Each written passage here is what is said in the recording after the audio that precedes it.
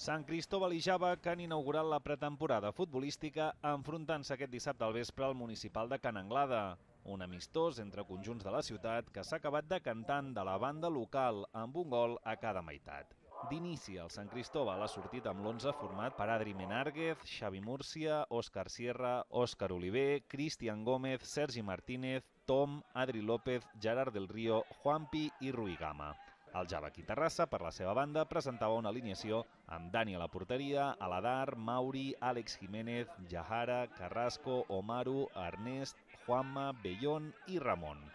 El primer gol ha arribat al minut 16 de la bota de Rui Gama, mentre que a la segona part Eric Zarate, al minut 56, marcaria el definitiu 2-0 pel Sant Cristóbal.